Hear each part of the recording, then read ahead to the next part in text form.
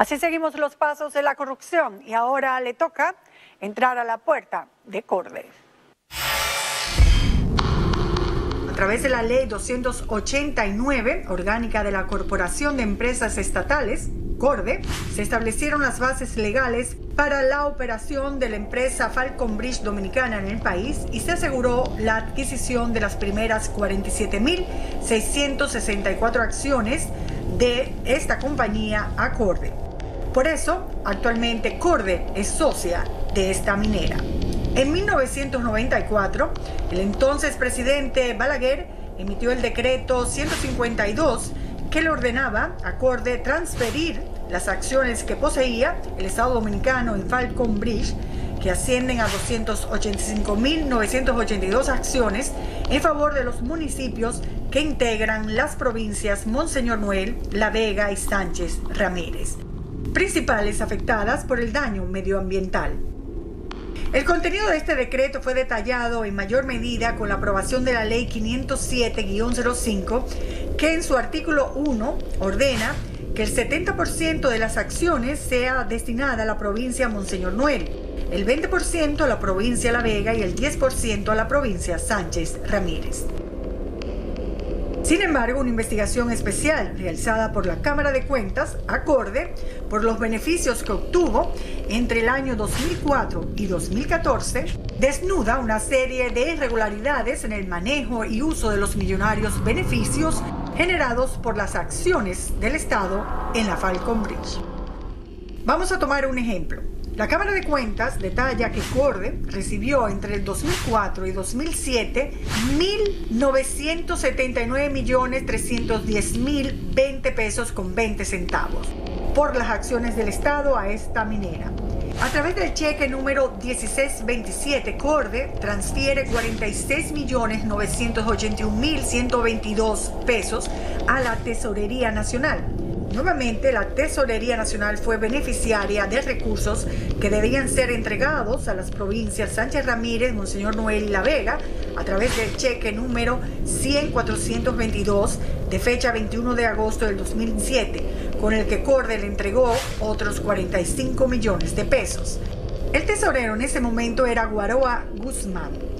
Además, la Secretaría de Estado para la Educación Superior, Ciencia y Tecnología también recibió dos transferencias en un mismo día, el 5 de julio de 2005, que totalizaban 10 millones de pesos.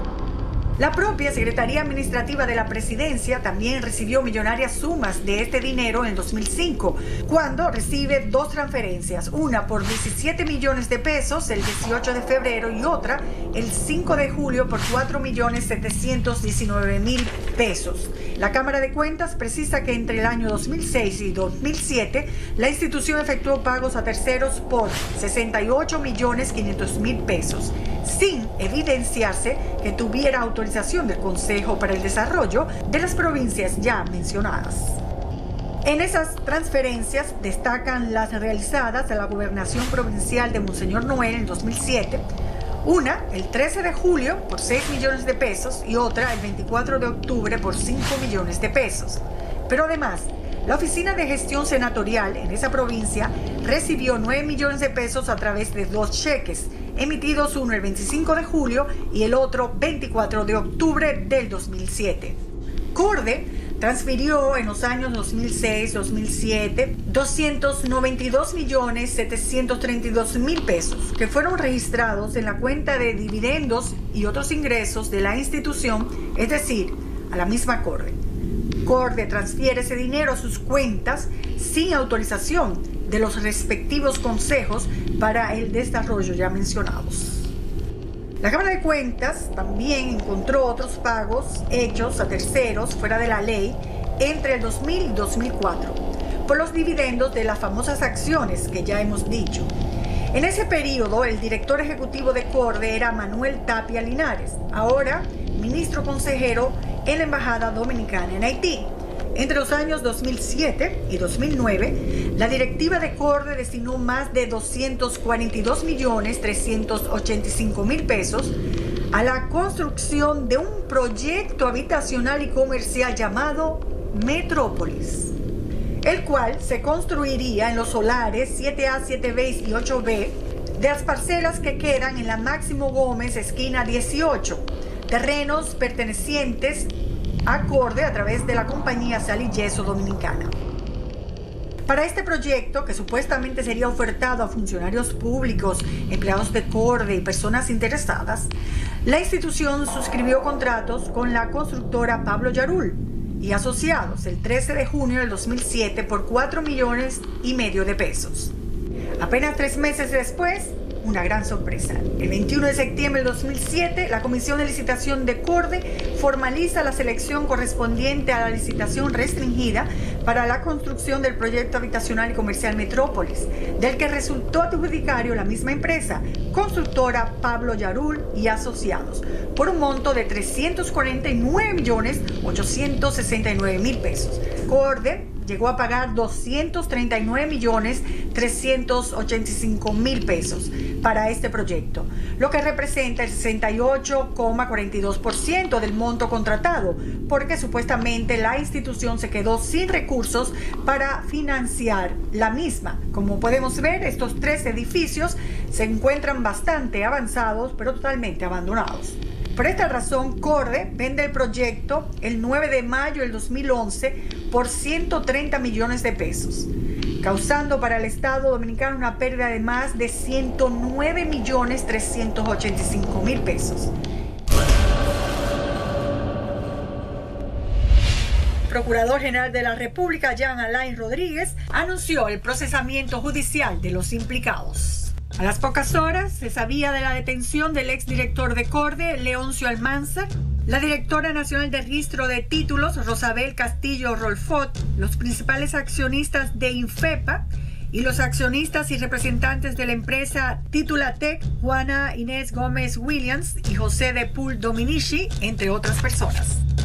Corde tiene su terreno y quiere sacar provecho económico identifica Inversiones Fernández Parache y le propone el negocio. Fernández Parache hace el negocio y compra a cuatro, a cuatro pagos, cuatro parcelas del Distrito Nacional. Y entonces se asocia con Titulatet, que es una empresa también creada a propósito de este negocio, para la operación de venta de los terrenos. Las negociaciones entre Infepa y Corde vienen dándose desde el año 2009, cuando en esta carta dirigida por ingeniero Leoncio Almanzar, director de Corde, al presidente de Infepa, el señor Domingo Gerardo Lebrón de los Santos, detalla el proceso en que se llevaría a cabo la venta. Meses después, en el año 2010, se formaliza el negocio. Corde vende a Infepa las tres parcelas a un precio de 80 millones de pesos, los cuales se pagarían en cuatro cuotas cómo evitar que los terrenos del Estado pues no fueran aprobados por el Congreso Nacional en su transferencia, como lo manda la Constitución. La respuesta era haciendo creer que los terrenos pertenecían a empresas privadas. Para ello interviene la imputada Rosabel Castillo Rolfot, entonces registradora de títulos del Distrito Nacional, que registró la transferencia fraudulenta con la complicidad de los funcionarios de Corte. Titulatec compra en el año 2013 el 50% de los terrenos a Infepa, a un monto mayor. La parcela 155 la compraron a 9 millones 500 mil pesos. La parcela 153-A-1 la compraron a 15 millones 500 mil pesos. Y la parcela 153-A-2 por un monto de 75 millones de pesos, para un total de 100 millones de pesos. Tanto Corde, Infepa y Titulatec contaban con un esquema comercial altamente perjudicial para el Estado dominicano, por lo que el gobierno no debía reconocer la venta realizada y en cambio garantizar el derecho de sus habitantes a ser reconocidos como legítimos propietarios.